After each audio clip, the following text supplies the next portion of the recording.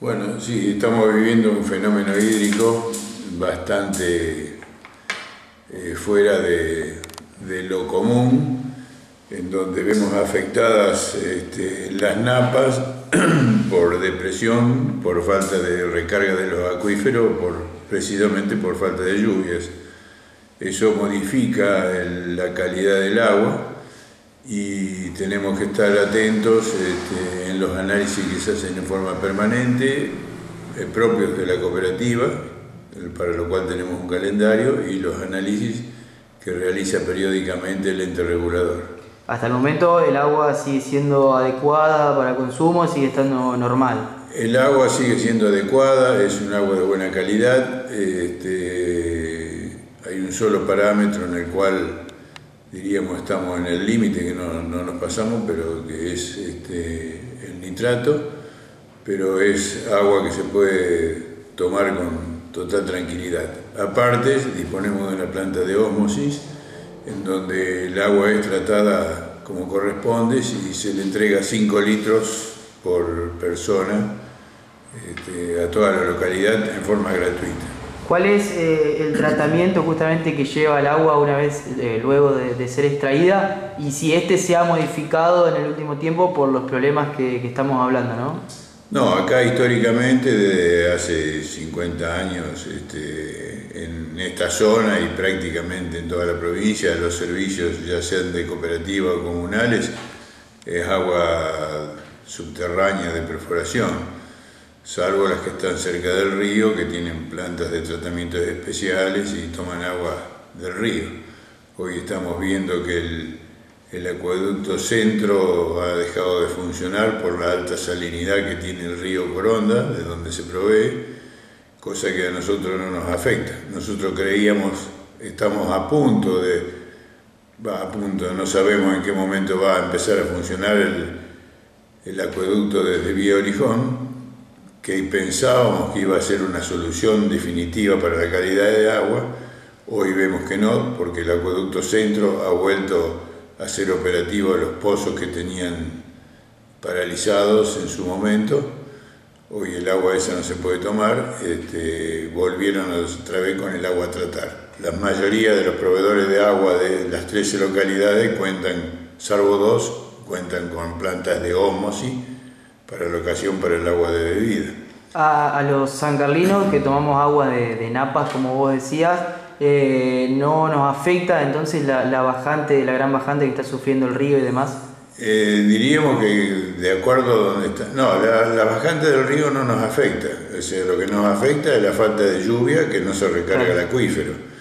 Lo que más afecta es la parte eh, química del agua este, por desechos industriales o por este, el sistema de siembra directa, fitosanitarios y demás, este, donde han ido cambiando la composición de las aguas subterráneas porque al no haber suficiente agua en los acuíferos, este, las bombas cuando chupan extraen lo que tienen disponible.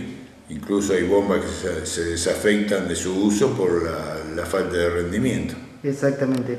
Eh, la gente consulta o, se preocupa por estas situaciones, consulta sobre la actualidad del agua aquí en San Carlos y demás. Las consultas son mínimas, o sea, sí se preocupan, no hay conciencia todavía de la situación real de lo que está pasando en el mundo con el agua. Hay 700 millones de personas que no tienen acceso a, a nada de agua, hay más de 1.200 millones que no tienen acceso a agua potable y hoy se ha puesto muy crítica en el, planeta la situación del agua, es eh, un punto crucial. No hay conciencia real, o sea, no hay conciencia de del cambio climático, no hay conciencia de los incendios forestales, no hay conciencia de la deforestación, de los sistemas de siembra, de explotación, de los efluentes químicos de las industrias, eso lleva a perjudicar todo el sistema, porque definitivamente el agua va a la parte subterránea y arrastra todos los minerales y demás. O sea, es uno de los problemas que tiene, que se cuestiona de la minería, más allá de los procesos de, de recuperación. Sí, esto, estos problemas, estas faltantes, esta falta de precipitaciones, eh, ojalá que no, pero continúa. Eh, sabemos que estamos cada vez más cerca del verano, donde el consumo de agua es mucho más amplio. ¿Puede llegar a haber algún tipo de, restricciones, algunos controles más fuertes?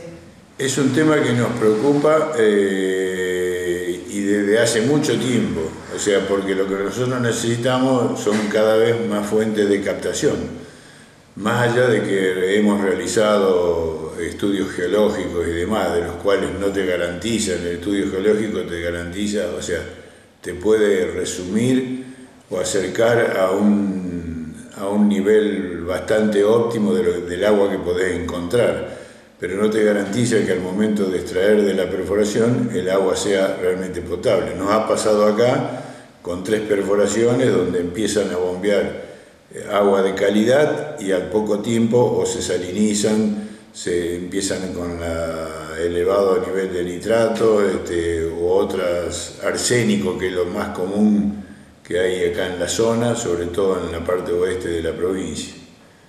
Luis, eh, muchísimas gracias por este ratito, por las explicaciones y bueno, por hacernos eh, saber un poquito más del tema. No, siempre a disposición para aclararle a los usuarios. Pueden confiar que la cooperativa se preocupa, atiende los reclamos y necesidades de la población, lo que recomendamos para este verano, para los que están construyendo y para aquellos que tengan que cambiar los tanques elevados, que sean tanques mínimamente de 500 litros, cosa que si en algún momento hay que cortar el sistema de provisión o disminuir este, la cantidad de agua que se bombea, porque a veces se, saturan los pozos, eh, cuenten por lo menos por 24 horas con mínimo con una cantidad de agua disponible de calidad. Lo que nosotros notamos que muchas casas nuevas y demás a veces hacen una economía porque van a poner un tanque más barato, más chico, de 200, 300 litros y claro, llegan al mediodía y no tienen más agua. Por eso les solicitamos que tengan la precaución de, tener un, tanque de suficiente capacidad. Pero nosotros no, hasta ahora no nos afecta la, provisión. Sí nos vemos afectados en plena temporada de calor por el uso de, de riego, llenado de piletas o el mal uso que se le da al agua potable. El agua potable es muy cara cuesta mucho. Y la gente no lo tiene en cuenta. Cree que como es un servicio público, las cooperativas no están subvencionadas como es la empresa de agua santafesina, que es una empresa del Estado. No tenemos agua santafesina, una empresa deficitaria. Nosotros no nos podemos dar el lujo de tener déficit, porque dejamos de funcionar automáticamente. Entonces, para mantener eso, necesitamos que la gente tome conciencia y le dé un uso racional al agua es elemental, es salud, es vida. Sin agua no hay vida.